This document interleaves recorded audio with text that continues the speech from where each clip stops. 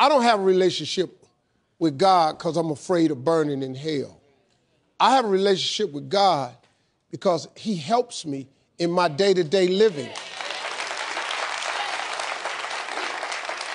I have a relationship with God because there, if there is an eternal place to go live, I want to go see it.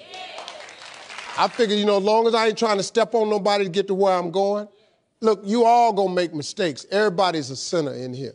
Everybody in here broken. Everybody need help. I need help. I'm broken.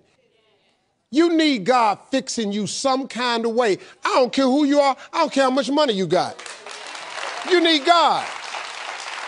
But listen to me. Don't you understand that that's okay? It's all right to have a relationship with God. Having a relationship with God is really cool.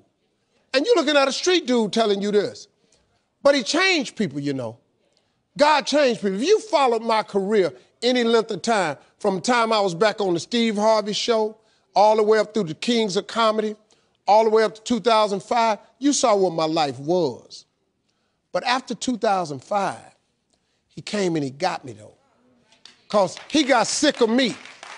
And I got sick of me. See, you know what happened to me in 2005? I got sick and tired of being sick and tired. I was so sick of me. You know, y'all saw me on TV, y'all saw this money I was making. I was miserable, man. I was at my unhappiest point in life all the way up to 2005. I was miserable. We was kings of comedy. The only time I had a good time was when I was on stage. The only time I had a good time, I was in front of the camera. I was with Sid and the boys. We was performing. When I got off that stage, my life was miserable, man. I was in a pain you would not believe. I was in an abyss, man. I was in dark place. How? How in the world did I get here? I got here because of God's grace. My plight had overtaken me, and I was about done. But right when you think you about done, don't he always show up?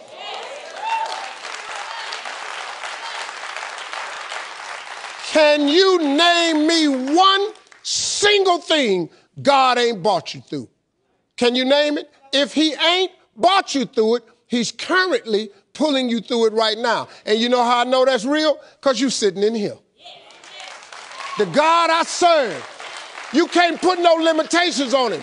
If you just get out the way, he can show you something. He do miraculous things all the time. Why would you not want one of them miracles to happen for you? I'm sitting here, for me to be here today, the dude that I was, it's a miracle.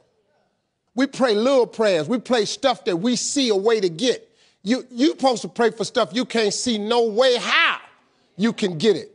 God is in to make your dream come true business. God is in to get your life together business. God is in the forgiving business. Don't let nobody fool you, man. Don't let nobody fool you. Don't forget to pray. Don't be ashamed to pray and don't ever be too proud to pray because prayer, prayer changes things. Prayer changed people too.